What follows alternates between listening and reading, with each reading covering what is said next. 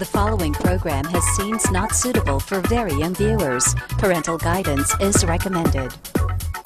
Project Runway Philippines Season 2 is presented to you by Pond's Age Miracle, the number one skin anti-aging brand of 2008. L'Oreal Paris, because you're worth it. L'Oreal Professionnel, in the salons of the world's greatest hairdressers. And in partnership with School of Fashion and the Arts, The One School, and Preview Magazine.